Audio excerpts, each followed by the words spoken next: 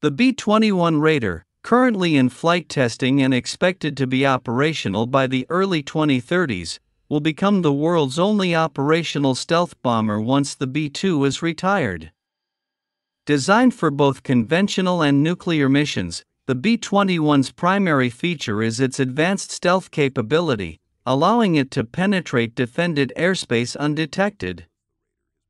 The B 21 will be highly adaptable, ensuring it remains a key component of the U.S. Air Force. While specifics about its armaments are undisclosed, it is expected to carry modernized B 61 12 nuclear bombs, precision guided munitions like the AGM 158B JASSM-ER, JDAM kits, ARGMs, and potentially hypersonic weapons.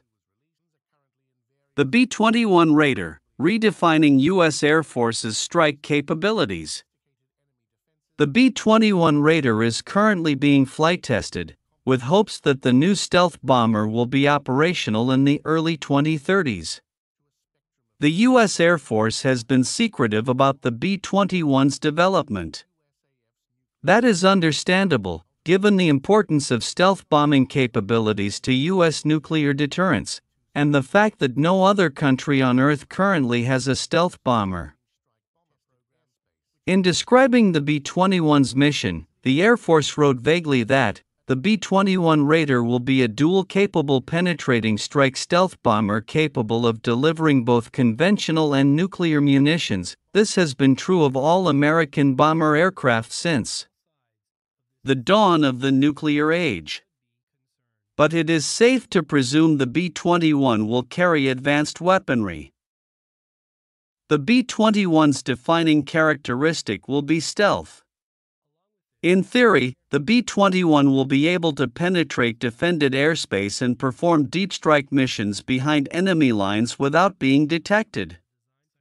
Once the B 2 is retired, the B 21's stealth capabilities will make it unique as the world's only operational stealth bomber.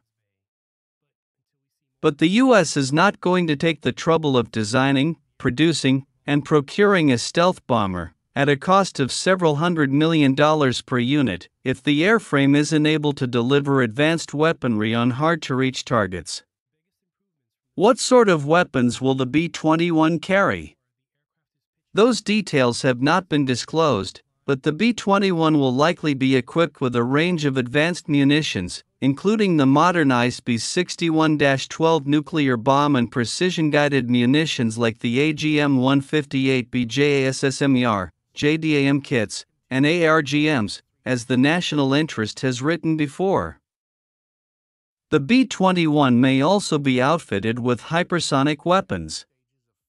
U.S. forces don't currently have a working hypersonic option, but once the Mach 5 capable weapons come online, they will enhance end to end strike force systems, increasing the potential for deterring future threats, according to Lockheed Martin.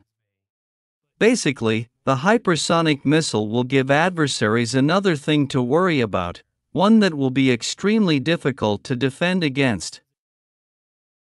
The B 21 will be one of just two bombers in the U.S. Air Force inventory after the B 1 and B 2 are phased out. So expect the Raider to be highly adaptable, capable of being configured with new weapons systems as they are developed.